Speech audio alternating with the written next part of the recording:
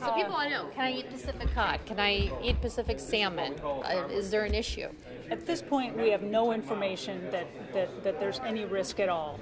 Again, in an abundance of caution and complete due diligence on our part, we are um, communicating and, and uh, assessing any potential, uh, whether it's marine or freshwater, uh, uh, fish or wildlife of any type, uh, with our partners at, in agriculture, fish and wildlife, uh, Department of Interior, National Marine Fisheries Centers, uh, etc. So, So um, the, the current concern being obviously that we're watching Japan. We're thinking that there's some sort of radiation fallout that gets into the oceans that's consumed by wildlife, and then that we consume the wildlife. Does that make sense? Does it make sense that we could have an exposure that way? Well, it makes sense. It's just not particularly scientifically based.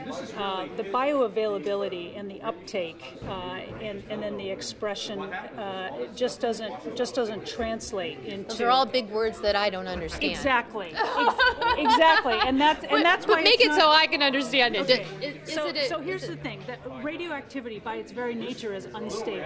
It's throwing off radiation to try to become stable, um, and it reacts to things as a result. It reacts to our to, to our bodies when it comes in contact. It reacts to rainwater, and it reacts to seawater.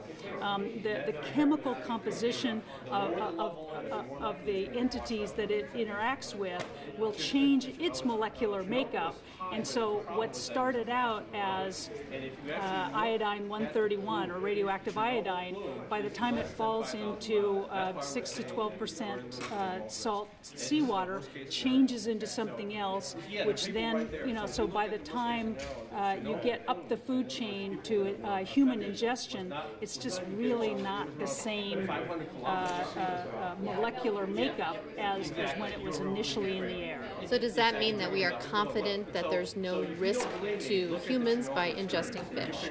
At this point, we are, one, I'm not an expert in fish. And so, again, as part of our due diligence, we are working with partners uh, who are experts um, and, and, and are providing that information to the public just as quickly as we can get it, um, a- along with uh, uh, the feds as well, because um, frankly, there are, you know, this is a global marketplace, and people want to know not only what's going on in Oregon, but what about uh, uh, food and other products that come from other parts of the world. And So- we know that, we care about it, and we're trying to get accurate information to the public. So is that something it sounds like you're going to get an answer to, to today? I don't know about today, but uh, just as quickly as we can, we certainly want to get that information out. Happy to share that with you. So, so the follow-up question obviously is: Until we have that information, should we avoid eating Pacific salmon, No. Pacific cod, and why not then? um, frankly, we don't eat enough fish. Fish is really good for you. Frankly, fish is Even con- radioactive fish?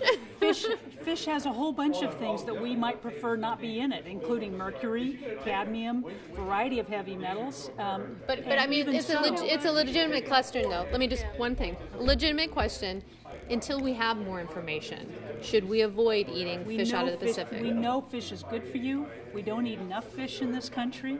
Uh, fish is healthy and, in fact, can provide uh, help and boost for your immune system for all types of environmental contaminants. Eat fish.